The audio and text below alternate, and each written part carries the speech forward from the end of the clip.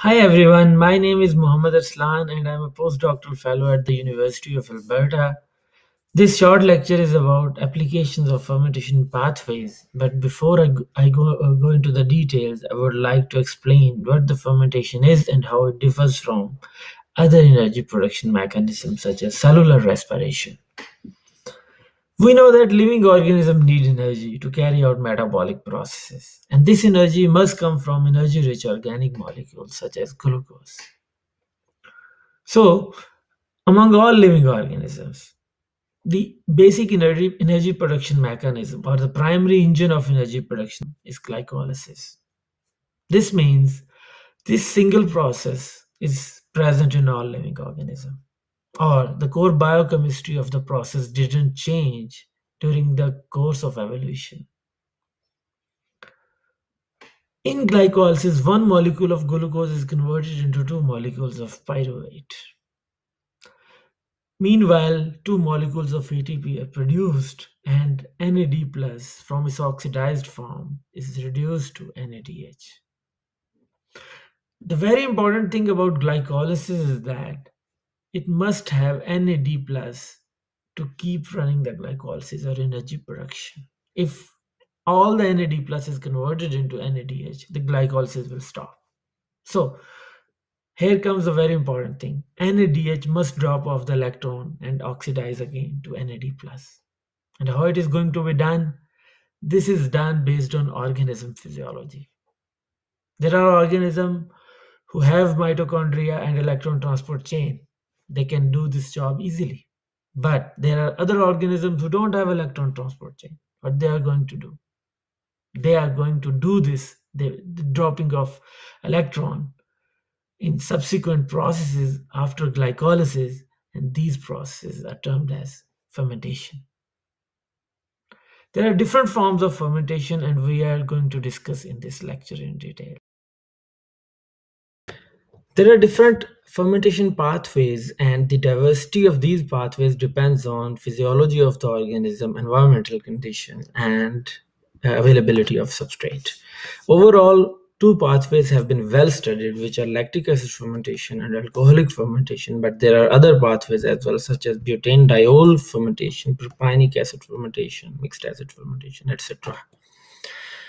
If we talk about alcoholic fermentation, the name, as the name says, the end product is alcohol. This phenomenon has been well researched from the animal gut, where gut microbiome is fermenting the com complex organic molecules to alcohol. The first step in alcoholic fermentation is glycolysis, as I mentioned before. At the end of glycolysis, pyruvate is decarboxylated uh, to acetaldehyde in alcoholic fermentation and finally it is converted into ethanol. NADH, which is already reduced in the glycolysis, is regenerated in the final step of alcoholic fermentation. In application, if we talk about the application, the food industry comes to our mind at first. Both the production of alcoholic beverages and in baking process humans have long history to use alcoholic fermentation in the production of beer wine and bread. In energy industry there is tremendous uh, potential of alcoholic fermentation to produce biofuel uh, from the agriculture biomasses such as sugar beet the area is still under research and it is expected that in future uh, energy industry will uh, utilizing this approach to produce biofuel at large amount. In medicine alcohol offers antiseptic and disinfectant properties and there are also antidotes formed uh, through this process. So it has application in medicine as well the other byproducts are also useful, such as production of fertilizer, alcohols, fuels, and they are derived through alcoholic fermentation. Lactic acid fermentation is the second major form of fermentation in which end product is lactate. Under natural condition, this process occurs in red blood cell and in muscle cell particularly when the oxygen supply is limited but energy has to come through. For example when humans are running in red blood cells mitochondria is not present. So uh, there is no electron transport chain and energy comes through glycolysis followed by lactic acid fermentation. First step is always glycolysis. Pyruvate is formed, and then pyruvate is converted into lactate uh, by lactate acid dehydrogenase enzyme, and NADH is oxidized to NAD+. application of lactate fermentation is again very popular in food industry as aspergillus, which is a fungi, and lactobacillus, which is a bacterium. They have been used to produce soya sauce, cheese, yogurt, and pickles.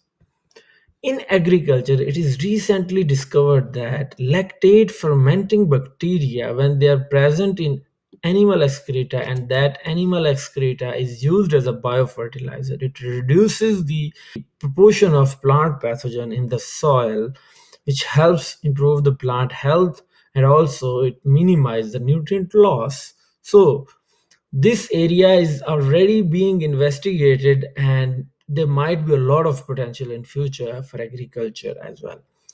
The second example of lactate fermentation in agriculture is the consumption of methane in the animal gut. When lactate utilizing microbes are present in the rumen gut, the product acetate help methanogens to colonize the gut in a syntrophic mechanism, resulting in the consumption of methane, which is which actually has to be released in the atmosphere, but in this way it is consumed and lower amount of methane is released. In medicine, lactate fermentation has been used to treat dysbiosis due to probiotic effects, and this phenomena is also being investigated.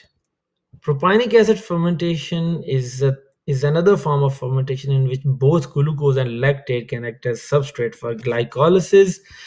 At the end, pyruvate is formed, and this pyruvate is then sequentially converted into propionate along with the production of acetic acid, CO2, and ADP.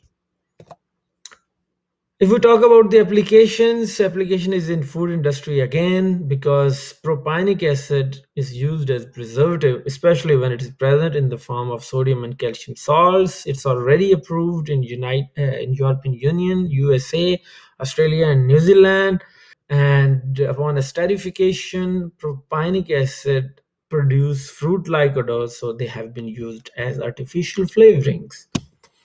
In medicine, due to antimicrobial and anti-inflammatory properties, propionic acid have seen tremendous application at 0.1 to 1% weight concentration. It, it can significantly inhibit the growth of mold and some bacteria. A very good example is the antibiotic monensin derived through propionic acid fermentation, uh, which is used to treat coccidiosis in humans and as well as other animals. In chemical industry, uh, intermediates uh, which are produced during manufacturing of polymers have seen tremendous application in the production of thermoplastic, for example, cellulose acetate propionate, which is used as frame material for eyeglasses, in toys, in cigarette filters, and in playing cards. There are other applications as well in, uh, to be in the preparation of uh, pesticides, herbicides, and pharmaceuticals. Butanediol fermentation is another form of fermentation in which butanediol is produced in a large amount and ethanol and acetate are produced in smaller amount. The application of butanediol fermentation in chemical industry has been seen in the form of antifreezing agent as well as in feedstock. In Pakistan, people were using butanediol in poultry farms as a low freezing point fuel that maintains the temperature during winter time. In food industry, the derivative of butanediol, which is diacetyl formed through catalytic dehydrogenation, is used as food additive. There are different products, food products in which it is used, and these are listed here. For example, pop- popcorn, potato chips, crackers, ice creams. In medicine and pharmaceuticals, 0.1% butanediol is known to have antiseptic properties, so it is used accordingly.